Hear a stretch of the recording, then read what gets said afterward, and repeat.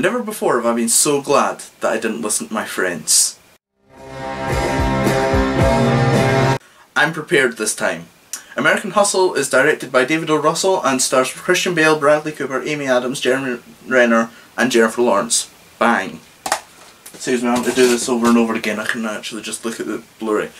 And as I said in the introduction, I didn't I didn't listen to my friends. My friends went to see this film, absolutely hated it. Uh, I never got to see it for reasons. uh, they told me it was terrible and that basically they were like my saviour. They never took me to see it. um, but anyway, I noticed a um, shop um, for £8 and I decided to buy it for some reason because I still wanted to see it. I didn't 100% believe them it was bad. I'd heard good reviews, I'd heard bad reviews, so... And this film was amazing. I absolutely love this film. Um, the acting in it is fantastic. Um, Christian Bale, anyone who has watched a Christian Bale film can easily say that this guy is an actor. He just pushes himself. This the weight that his character has is all his own weight. He gained that for this role. That's fantastic. I mean, he, he switches around everything. He goes from the machinist completely skinny to the fact in which he was passing out to Batman, which is like Have no idea, like generally the real Hulk. I don't know how he done this. Well, I do know how he done it, but it, it's amazing to watch uh, how, how he can transform his body and stuff like that. And the fact that he is offered makeup and everything and does it himself is brilliant. And he just immerses himself in this role. I hadn't, I there was points in which I even forgot this was Christian Bale. And this is one of the things that I can really compliment this film about. The characters are so real. Honestly, who's it? I've forgotten who's in it already. Jennifer Lawrence. I, I forget that there's Jennifer Lawrence. She, she just immersed all the all of them really immerse themselves into the character, and they don't. None. I don't. Didn't have any problems with it. It was. It was genuinely. They all just immersed themselves into the characters. I never at one point thought, "Oh, that's Jeremy Renner. That's definitely Jeremy Renner." Maybe the first time I saw it, but then as soon as the character starts speaking, and it, they just begin acting, it just boom it's gone. It's like, who are you? I've forgotten who you are. You're this character now.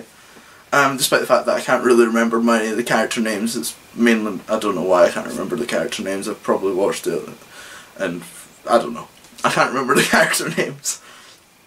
Um, and the writing in this film is just fantastic. Everything just flows perfectly. It feels so realistic.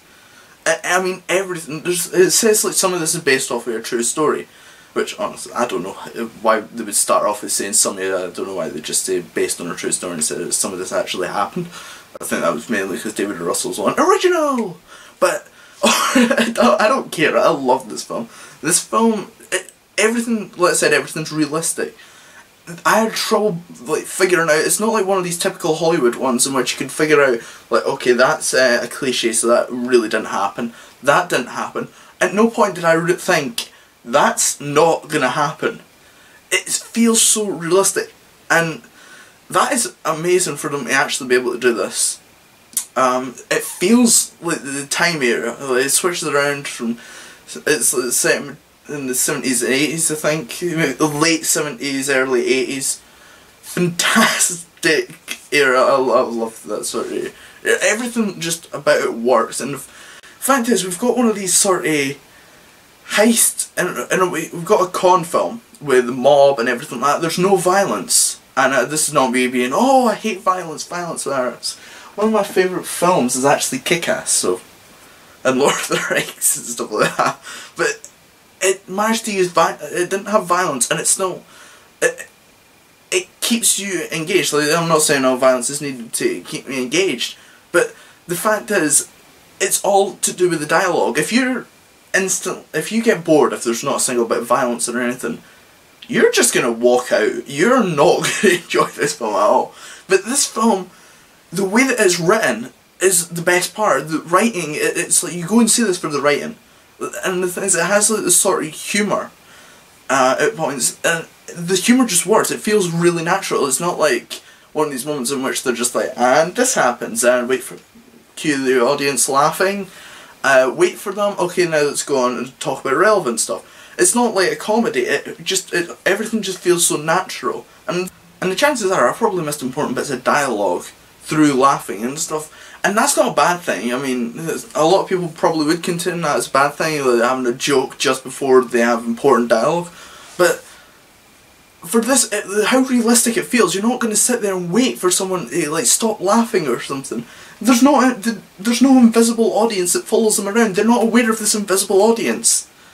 They're they're just normal. It, it works so well. And and Robert De Niro came in for a bit. That was fantastic. That his scene blew me away. It was just so damn intense. Barely anything was actually said in that scene, but it was really intense. And I I I, I love this film. This I've only watched this once, and it's already just blown me away. I, I, the more I think about it, the more I really like it, and that is something really good and the time worked perfectly. The way it ended I thought was amazing. Uh, it just, it flips everything around what's been happening through. And it's not like one of these simple Hollywood gloss over, like, happiness, happiness. There is dark shit that happens at the end. And uh, that's amazing. Like I said, I am blown away by this film. This film has amazed me. I honestly can't say anything bad about this. I'm trying to say something bad about this because I don't like just going all positive. I need to give you some negatives. All I can say is, it's it's focused on the um, script. Which, by the way, if you don't like scripts or anything like that, you might not like this film. If you're not interested in dialogue, I really doubt if you're going to like this film. But the dialogue I found was so fantastic, and it flowed perfectly I honestly cannot see any problems with this film. This film is just, whoa. Uh, I swear, if you guys like anything, like with a good script or anything, doesn't, uh, just watch this film.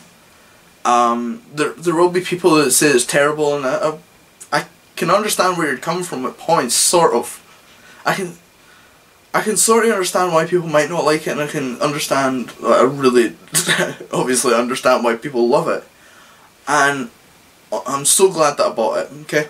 Um, and I'm going to give this uh, 9 out of 10. I can't give it a 10 out of 10 mainly because... Actually, screw it. I'm giving it a 10 out of 10. This film is fantastic. Um, so as always, remember to like, comment and subscribe. And I feel like asking you a question. What is your favourite David O. Russell film? So like Fighter or Silver Linings or anything like that. Mine's probably The Fighter. I It's my first film that I saw of him and I, I just fell in love with it. It's such a great film. Really inspiring, everything like that.